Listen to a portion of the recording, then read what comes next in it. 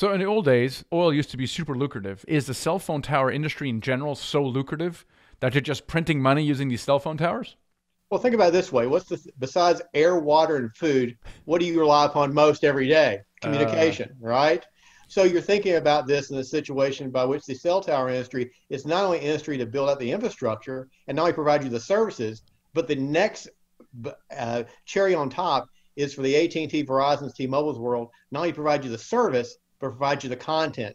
Think of this like back in the old days, like Kodak. They would sell you a camera because they wanted to be eventually sell you all the film. The camera was just a facility. So that's what the industry, the telecom industry is turning into. It's not just the service you're getting, it's the ability for them to sell you content. So that's why it's just becoming more and more lucrative. And the only way they can do that is have the infrastructure to provide the service.